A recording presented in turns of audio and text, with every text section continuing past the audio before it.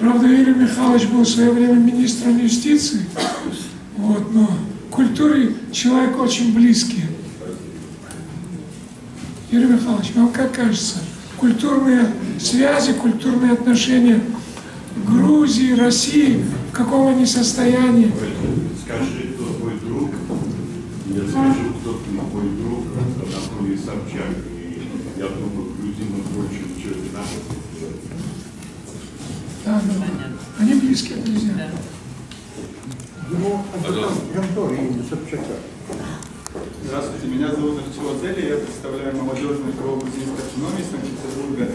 У меня вот такой резонный вопрос. Что бы вы посоветовали, чтобы нашу молодежь Санкт-Петербурга, ну, конкретно грузинскую, заинтересовать и направить в культурное русло ее, чтобы ее интересовал именно культурный аспект?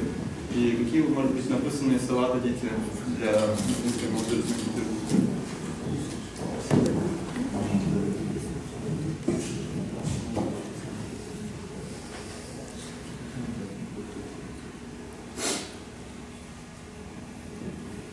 А это вот очень трудно. Вот я представляю свою книгу сегодня. Чакому Молодежи здесь написал нет поэму. А? Молодежи почти нет. Молодежь как раз есть. Я, я удивилась. Да, даже. вот именно. Наоборот. Почему? Вы же в зале. Очень много. Если вы кому-то что-то расскажете. А, передайте всем информацию. На самом деле.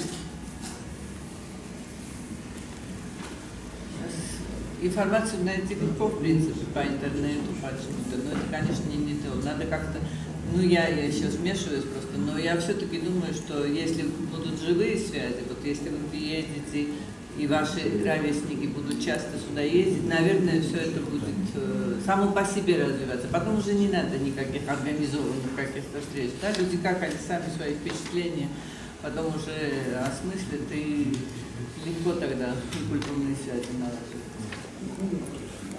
Я, я говорил уже, ну, вот, я уже не помню, вы были в зале. Повторю я сейчас. Сейчас очень хорошее время восстанавливать наши культурные связи, потому что государство не участвует в этом процессе. Это очень хорошо, потому что они потом выдвигают своих фаворитов, а вот талантливые люди иногда остаются в тени, которые их не поддерживают. А вот если посмотрим с этой стороны, вот, э, сегодня для этого прекрасная ситуация. Не мешает, да, визы получать, а визы получать. Ну, визы пол- вот в этом деле, если порогу, Да, будет прекрасно. с визами порядок. то вы не против, я как ведущий все-таки пару слов еще скажу. Ну, я думаю, что вот как бы та часть, которая посвящала журналистам, мы можем подвести э, черту. Ну, достаточно много любителей, собственно, поэзии собралось, и люди хотят, а, наверное, перейти э, к основной части. Мы-то на самом деле ждем, а, и задумка была такая, что Дато будет читать свои стихи, отрывки из этой поэмы Джакомо Понти на грузинском, а на русском нам будет помогать а, Мигицко Сергей Григорьевич. Вы, наверное, все его знаете, замечательный актер театра и кино, заслуженный народный а, артист. Вот. И будем считать, что мы плавно сейчас перейдем вот ко второй части. И мне лично самому хотелось бы, я чувствую, не все прочитали Джакомо Понти, а я вот очень добросовестно прочитал, и мне очень нравится самому а, поэзия а, Дато Маградзе. И вот как бы открывая, собственно говоря, вот этот вечер, я думаю, для меня это и большая честь, а, вот, и а, большое удовольствие открыть этот вечер и представить вам Дато Маградзе именно не как бывшего министра культуры и в каком-то смысле политического деятеля, раз он уже упомянул, что он в оппозиции долгое время находился к властям, правительству, к официальной политике. Но представить его вам как поэта. Что касается, собственно, поэзии а, и конкретно этой поэмы Джакомо Понти, то мне кажется, что это очень современная поэма. Во многом она, конечно, автобиографична, поскольку я кое-что от вас знаю до того. А поэт в этой поэме, или лучше сказать, его главный герой Джакомо Понти, ведет диалог по многим направлениям, по многим вопросам со своим народом, со своим правительством, с новым поколением. Вот, собственно говоря, отвечая на ваш вопрос, с новым поколением, за которым будущее, и он вообще готов охотно вступать в разговор с каждым, кто готов его выслушать. По-моему, это так, да? Жакомо Понти готов говорить на все злободневные вопросы вот со своими вот, э, со своим читателем и с, с, с, со всем, кто готов его выслушать. А Джакомо Понти делится своей болью, надеждами, чувствами. Поэма – это крик отчаивающийся, но не отчаявшийся вот, души. Мне показалось, что этот герой воплощает добро и справедливость с кулаками крепкими такими, который не готов давать себя в обиду. И он не готов отдать себя в плен модным общественным предрассудкам. А, поскольку ну, главный герой как бы в этой поэме а, на скамье подсудимых, вот, то он сам не просто подсудимый, но он и, пользуясь этой прекрасной возможностью, выступает в качестве это, обвинителя. Поэтому это суд и судебный приговор своему времени, породившему монстра стяжательства в привлекательной обертке золотого тельца, который хочет победить человеческий дух. Я это так почувствовал. Если, в принципе, вот, как вы сказали, мне понравилось то, что вы еще не прочитав эту книгу, почувствовали, что от этой книги... Заряд очень положительный. Да, очень положительный заряд. Это точно. Вот. То для меня это вот, э, я бы хотел так вот фигурально выразиться, что в руках вы держите, держите маленькую такую жемчужину, которая может, если вы захотите, конечно, согреть вашу ладонь, дать надежду вашему сердцу, укрепить ваш дух. Это то, что вот а, еще раз вот нужно делать молодежи. Не лениться, взять эту книжку, вместе собравшись. Я так понимаю, вы представляете вот эту а, в интернете группу молодых грузин, которые общаются и, может быть, иногда довольно сложно найти какую-то тему для общения. Возьмите и все вместе прочитайте а, а, как бы а, стих за стихом эту поэму, и это вам даст колоссально много. В хорошем смысле вот поэма Жакома Понти для меня это жизнеутверждающий ремейк национального гимна Грузии, автором текста которого вы являетесь. Вот, как бы. И я вот всех, кто пришел, с удовольствием хотел бы поздравить вас с этой замечательной книгой, которую сам вам сегодня представит вот Татома Грасс. Поэтому пока в пробках наш замечательный народный артист пробирается, я думаю, тут есть много людей, которые понимают грузинский, да то вот сам возьмет бразды правления в свои руки и, собственно говоря, перейдем вот как бы и к обсуждению самой книги, и к чтению. Поэтому готов вам слово.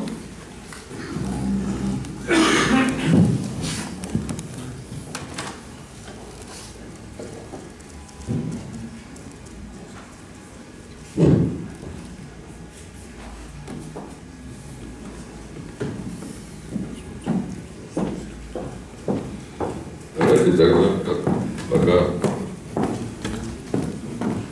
актер Идет? Да, пока. Я прочту стихи и на русском, и на родном языке.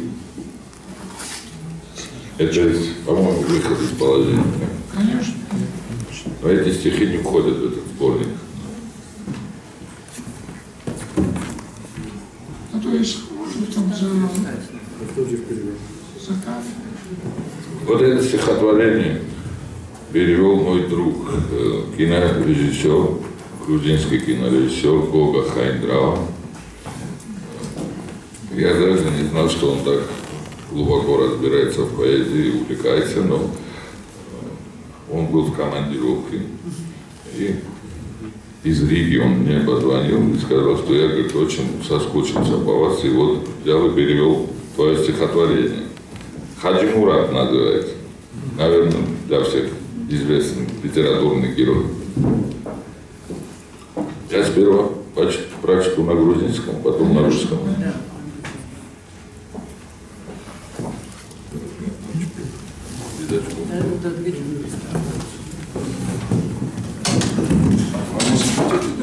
Микрофон не нужен.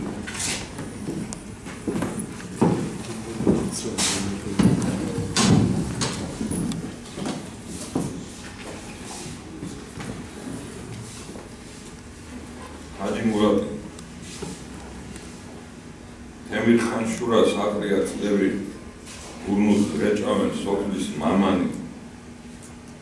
ქვებზე უწყვიათ განხმარი ძვლები თეთრ წვერს გადაჰყავს შაბი ამანი.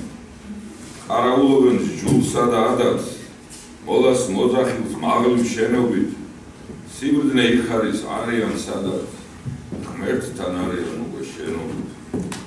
და მოხალული მზისგან აული ფიცის და ხმალის ნიშნობას იცავს და სიმამაცის დღესაც წაულის ცხედრებს იბარებს აულის იცავს და მარწერან სოფლის სურათის გონიც ამიღო და ცოტა ნანო და ახლა ვფიქრო ხაჯი მურატი აულში რაზით შემოვიყვანო შეწიწლდა სხივის მძაფრე ნაწილიც უნდა ვიჩქარო თორემ ბინძდება.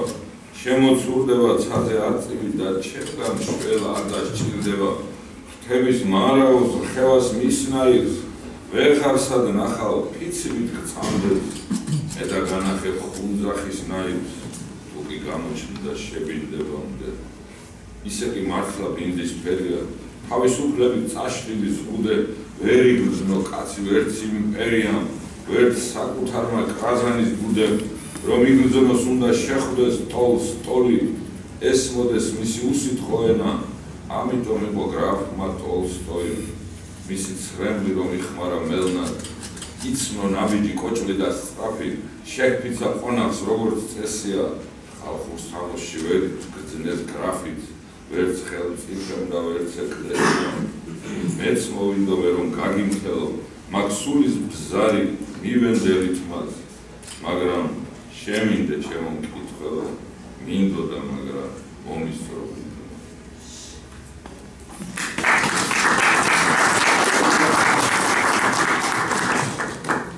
я постараюсь прочесть на русском. Хаджи Мурат. Над Эмирхан нависли годы, жуют, бурнут отцы аула, старцы, на камнях крея высохшие кости, седых бород уж синева коснулась. Почетный караул несут здесь зиарат, и муэдзина крик доносит с минарета Востока мудрость там, где властвуют они, с Всевышним говорящие на «ты». А солнцем опаленный тот аул клинком и клятвой веру защищает и доблестно погибших сыновей. Земля аула с честью принимает. Но это описание аула меня так увлекло, что я забыл, как час пробил. И надо до заката, через какие врата, вести в родной аул Хаджи Мурата. Не надо торопиться, так как ночь не будет ждать, уж покраснел закат, на небо выплывет орел, и без меня он улетит назад. А крылья этих опахало взмах, поверь, ни с чем на свете не сравнится. Я покажу тебе хунзакского наиба, коль до ночи успеет появиться. Свободолюбием разрушенная грань, сквозь сумерки еще едва светится. Его не признавал родной осенний рой, не признала и белая столица. Признал лишь лев, узнавший льва, без слов поняв язык отваги, взамен чернил его скупой слезой, Толстой создал героя на бумаге. Узнал походку кунака, лишь раз увидел на дороге Тот самый граф Толстой, что сам не узнан был в простой крестьянской итоге Ни венценосцем, ни церковью святой. Желая рану вековую жак залечить, я, вспом... я возомнил, что это рифмой сделать можно. Читатель должен ты меня простить. Хотел, да не успел. Настала ночь, и Бог уже увидит водится.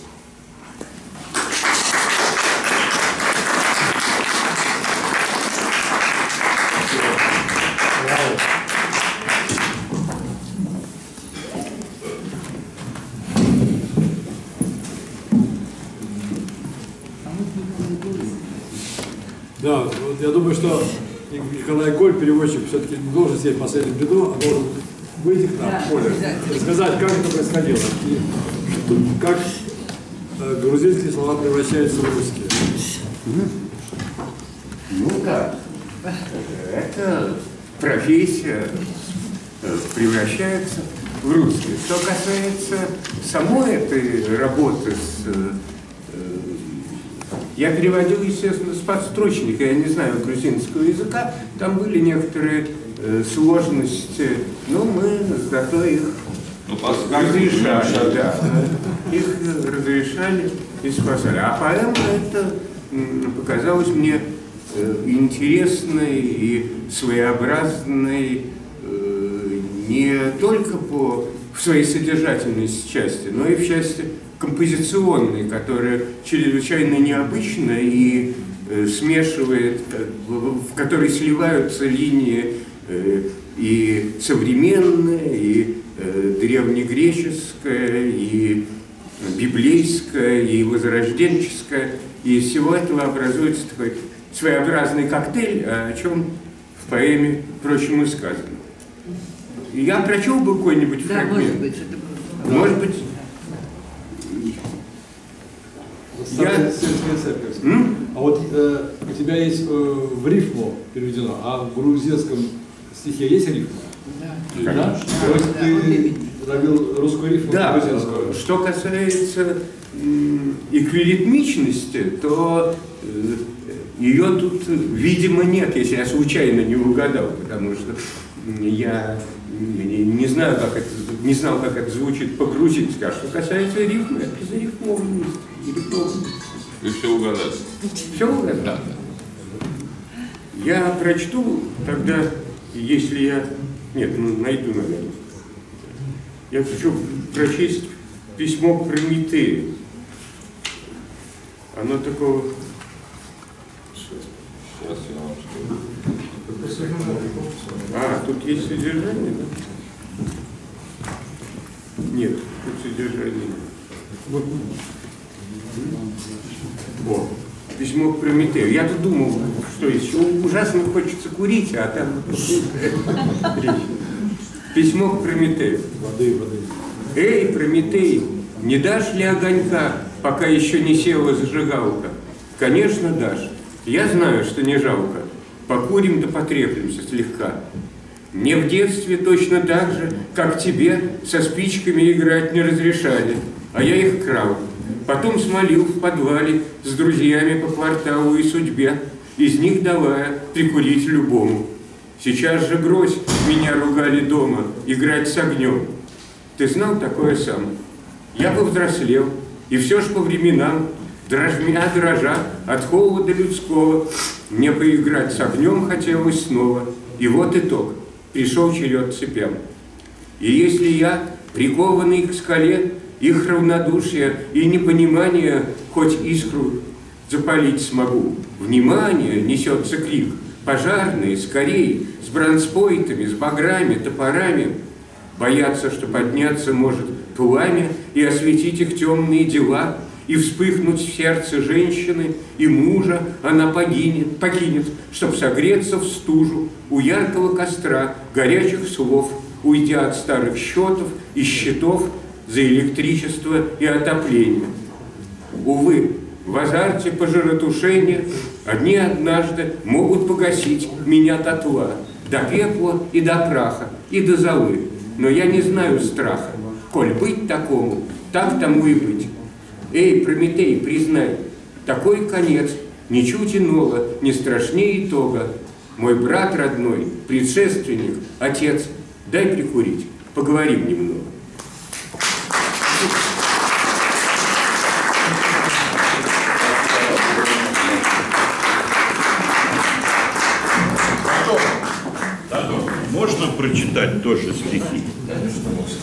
Люблю поэзию и вообще считаю, что незнание языка не является препятствием к тому, чтобы понимать друг друга, тем более если поэзия, она о главном, о вечном.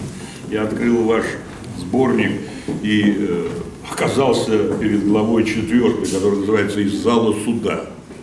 Я 40 лет, 40 лет я по этим залам суда. Позволь, позвольте я прочитаю. Пора давать признание. Не вы ли коварным дерзким взглядом совратили супругу мэра города Варьер? Нет, сэр. Вы даже здесь, в судебном зале, скрывать свои грехи не перестали.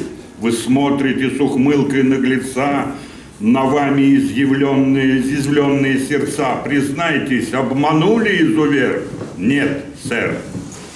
Вы обещали, протокол открою, лишь краткую прогулку под луною, невинный поцелуй под сенью пышно цветущих звезд, которых, мол, не счесть, что вышло что, а вышло то, что вышло, и вы виной. Неправда, ваша честь. Тот поцелуй ждал своего Родена. Свидетели, свидетелей полно. Закатный луч, волна, морская пена, сырой песок и небосвод с луной. Они покажут искренне и точно. Да допрос повторный будет ни к чему. Хоть соберите всех на ставке очной, хоть опросите их по одному. И мне зачем хитрить или таиться? Им запираться вовсе не с руки, как же ребенок вслед за кобылицей. Мы мчались ночью на перегонки. Зовите же свидетелей, я жду, пусть белые исчезнут в деле пятна. А если речь их будет непонятна, я, ваша честь, для вас переведу. И то, как, набегая на песок, язык волны облизывает тело, и то, как появившись в должный срок луна, увидев нас, порозовела. Я обманул, не слышал испокон подобной чуши, прочь ее отрину. Я дал ей то, что никакой закон не может дать, вторую половину. Ну что здесь скажешь? Для чего? Для чего знание, так сказать, поэзия – это величайшая вещь. Вот я впервые взял, я открыл, я попал туда, куда надо, я попал в точку, и я счастлив, что я присутствую при этой презентации.